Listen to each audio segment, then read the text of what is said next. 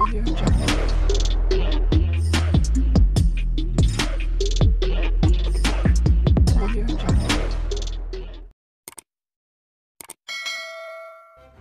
kasih kerana memilih channel ini. Sebelum kita mulakan video ini, sila pertimbangkan untuk menekan butang like, share dan subscribe dan aktifkan butang lonceng anda agar anda sentiasa mendapat info-info percuma pada setiap hari dari channel kami. Dan tinggalkan komen anda kerana komen anda amatlah dihargai. Terima kasih. Perhatian, tajuk, thumbnail dan gambar hanyalah ilustrasi. Untuk tidak salah faham, tonton video sehingga habis untuk mengetahui isi berita sebenar yang disampaikan. Pentadbiran Perdana Menteri Datu Seri Anwar Ibrahim dianggap tidak berpegang kepada kedaulatan undang-undang atau rule of law apabila melantik seseorang yang sedang berdepan kes mahkamah sebagai timbalan Perdana Menteri TPM kata Tun Dr. Mahathir Mohamad.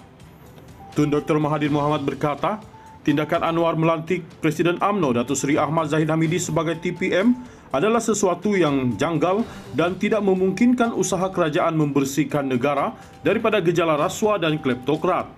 Ya betul belum dihukum tetapi orang ini sudah dihadapkan ke mahkamah. Kalau kita ada orang sebegini jadi pemimpin akan rosaklah negara kita.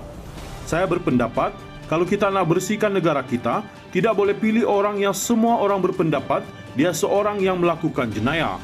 Jadi saya hairan bagaimana Anwar boleh pilih orang ini walaupun dia pemimpin parti tetapi dia menghadapi tuduhan di mahkamah ia betul tidak bersalah sehingga dibuktikan bersalah. Tetapi kalau dia dihadapkan dengan satu-satu kes itu sudah menunjukkan dia Ahmad Zahid tidak layak jadi pemimpin katanya ketika melancarkan buku 40 tahun dasar pandang ke timur di ibu negara hari ini. Beliau mengulas penubuhan kerajaan perpaduan membabitkan kerjasama di antara Pakatan Harapan PH dan Barisan Nasional BN, Gabungan Parti Sarawak GPS, Gabungan Rakyat Sabah GRS dan beberapa ahli parlimen lain. Ahmad Zahid dilantik sebagai TPM oleh Anwar ketika mengumumkan barisan 28 anggota Kabinet Kerajaan Perpaduan pada 2 Disember lalu. Mahkamah Tinggi pada 24 Januari lalu memerintahkan Ahmad Zahid membela diri terhadap 47 pertuduhan rasuah, pecah amanah dan pengubahan wang haram dana Yayasan Akal Budi.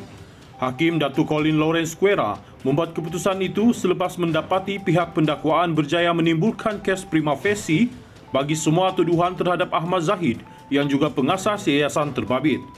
Sequera dalam penghakimannya berkata mahkamah membuat keputusan itu selepas membuat penilaian maksimum terhadap bukti yang dikemukakan pendakwaan. Prosiding bela diri Ahmad Zahid yang berjalan sehingga 2 November lalu ditangguhkan hingga disambung semula pada Januari depan.